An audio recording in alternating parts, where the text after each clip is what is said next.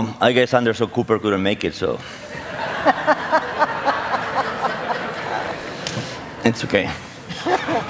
so both of you are lawyers, Right? right? Don't hold that against us. Okay, no. Uh, you were in Paris enjoying food because Yes. lawyers can enjoy food. And then I think we're 1979, you go back to New York, and there's not a way to find out how to get to a good restaurant. Nobody's telling you any hint. Well, the New York Times and every newspaper had one person telling us, but very often we didn't think they were accurate in terms of our own experience. And we thought it was obvious that if you had everybody here sharing their experiences, uh, you'd be more accurate than having one person. So that was an idea, and you went to get it. That's right. We also thought that it was important to separate the different parts of an experience food, decor, service, cost. All of those elements are different for people when they're making a choice, depending on who they're with, what their budget is, et cetera. So you have a lot of friends who like to go out and eat too, You and bet. that's and that was that were the first people you Yeah, asked, please help. Let's put that thing together, As right? young lawyers, everybody we knew practically went out to eat regularly, and we didn't see why they shouldn't have a chance to express themselves as well as the individual critic. I mean, it- last time I looked, most critics don't have more taste buds than the rest of us. Okay, so the, they were probably happy too because you gave them a voice, right? So everybody likes to have an opinion. That's right. And you gave them a free copy of whatever it was called at the beginning because it wasn't even a book, right? It was No, it's she- just a sheets sheet of of- paper. And they were happy just getting the sheets of That's paper. right. And, And the point wasn't to say, you've got to try this place or that place. It was to give you the information so that you could make the decision that was right for you. okay, so you came with the idea of surveying restaurants, but uh, you needed a questionnaire, right? So a format to, so everybody will do pretty much the same, right? That's right. And what was that questionnaire about? Well, it was two sides of a legal sheet of paper. We just had them printed up with names of restaurants that we knew of and places for people to give their ratings for the food, decor, service, cost, and to give us a few words of a pithy, witty comment One that of- we would weave together to be the review. One of the things we were trying to do, besides be more accurate, was be concise so that you didn't have to read 500 words to decide whether you want to go to lunch somewhere. And when do you get the idea of rating from 1 to 30? Why not 25 or 10 or 100 or why 30? We came up with the idea and it works.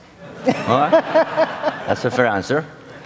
So um, the thing started working. People were enjoying your guide. More and more people were asking for that. And then you decide, oh, let's go to a publisher, right? They're going to love our idea. They're going to publish the book, and we're going to make a That's survey. right. We're busy practicing law all day. Let's get somebody else to publish the guide. Well, it didn't work that way. Well, there's we- plenty of publishers in New York. You bet. And we went to see all of them and with great introductions, and they all said, This is a ridiculous idea. All right. I, I had two publishers that reported to me at the time in my business. So when they turn you down, you know you got a problem. And, and their answers all revolved around three points. They said, Nobody wants to hear what other people have to say, they want to hear from the experts. Your idea is ridiculous. This little guide is just going to get lost in bookstores. It doesn't have weight. It won't make people feel they're really paying for something. And it's local. Who wants local information? People want to buy books that are national in scope. So that, those were the reasons, fundamentally, that we were turned down. And life today shows they were very wrong. Yeah, that makes me think when I uh, tried to hire my cleaning lady candidate to be the movie reviewer of our radio show. They said no way, but uh, ended up that she was the only critic that loved the same movies that the, pub- the public did. So it was a great success. You know, so, anyways, Same thing. so no, By, pu- no by publisher. the way, you should know that Yeah, we yeah. do surveys of movies, theater, all kinds of other things. We're best known for restaurants, of course. Okay, so no publisher, and then you go home and decide to do what? We, if they're not going to do it, we're going to have to do it. Okay. And of course, we were very lucky they didn't want to do it because we ended up with a business as opposed to getting royalties from a publisher. We'd have gotten 10 to 20 percent if we were lucky, and when they turned us down, we got 100 percent. Okay. And you, the first uh, print was 7,500? Yeah. Yeah.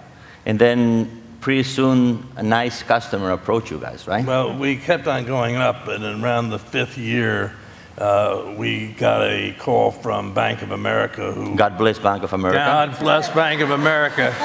Yeah. We'll know the reason know- right now. uh, Bank of America called and said, could we give them 5 million copies? And we said, we sure would be happy to try. Do you have any doubt? No. Uh, You just Tim- say, Tim made one mistake. Sell them 5,000 Yeah, copies, yeah. million copies. to do what with them? What were we going to do the bank with those copies? They were giving them out to their clients. In fact, we had uh, hundreds of companies, major companies, that were giving out copies to their customers and uh, found that it was good marketing tools. People got the books with the company name stamped on the cover. Okay, so companies, uh, average people like your uh, survey because they could know about restaurants, decor, food, service, price, whatever. And you guys were editing that thing and put it in the in the Zagat. But uh, I'm sure there was plenty of things that you guys didn't.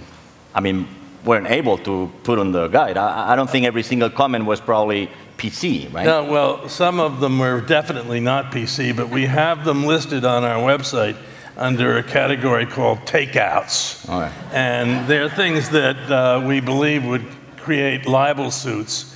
And for, just for example, this restaurant is known as Ebola Cafe. or I took a doggy bag home, my dog refused it. or filled with flowers and all the things that make flowers grow.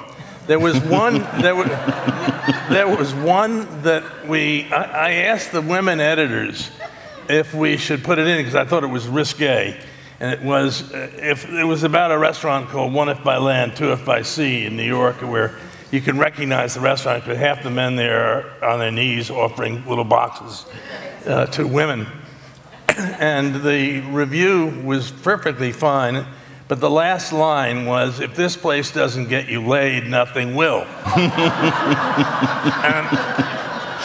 we, I, I, it turned out I was, more sen- I was more sensitive to people's feelings than the women editors were because we got immediately hundreds of, of letters complaining. But the angriest letter was from a man who had said we didn't live up to our representations. So your background as a lawyer did help you out to uh, create a business and Oh, absolutely. I mean, we knew that when we went to see printers and they told us that it would take three months to get a book printed, and we had experience turning around legal documents in one day, that it wasn't a matter of not being able to do it, it was a question of how much you were willing to pay, so that somewhere in between there would be the right place for us. So there were lots of different ways where we knew that things could be done, and so then we'd have to figure out what we could afford and what made sense for our business. because your idea was a little weird at the time, uh, even the size of the book, right? I mean, a book has a shape, and then you came with a shape. Right. And probably publishers didn't like that either, right? No, they didn't, because they thought that it would get lost on bookshelves. So we came up with making a lucite container that would fit right next to the cash register, that would be the same size as the guide, and it would have prominent placement and would stand up straight. And why do you want? Basically, we wanted it to be something that any man could put in his pocket and any woman could put in her pocketbook because we realized that people were going to be traveling around and they need to be able, just like a um, cell phone, they need to be able to use it wherever they are, whenever they want. I mean, it was basically a mobile product. Okay. Before before the mobile time. Before That's Mobile. right. So to make the long story short, then you get into the digital content. You start doing a lot of content for digital, and then Google came. Right. God bless Google. And and here we are, right? But you're still in charge of the of the Zagat. We're Yes. still doing Zagat at Google and trying to come up with the best possible content. But the one thing Google does is it gives us access to hundreds of millions of people, uh, and they can get it for free now. We used to have to charge because uh, it was the only way we could afford to uh, do what we were doing. Now everything we do, uh, except books, are for free. So everybody can do a survey online. I can survey the food that we have here today if I want to. Go to Zagat or something. Um, I don't think we're, the food we're having here today, but we can talk about that afterwards. Technically, you could. Technically, it was good though. Uh, te- Yeah. technically, you could, And we have, we, we actually uh, survey all the food in Google, and they have 63,000 meals served a day uh, within Google. So we are able to do it. It's just a matter of Yeah. you want to. I hear you eat so well in Google. You It's have such a wonderful life that people are leaving their apartments and living in the office, right? The- It's part of the reasons, part of the reasons why they're so nice and giving you all this free food. They want you to come early and stay late.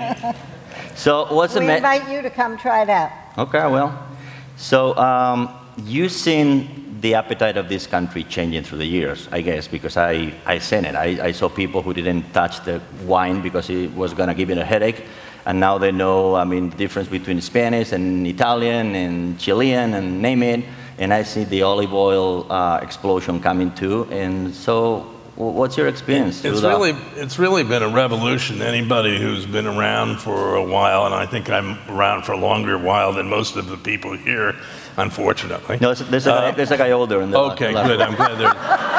But when I grew up, I thought that raw fish was a fraternity prank.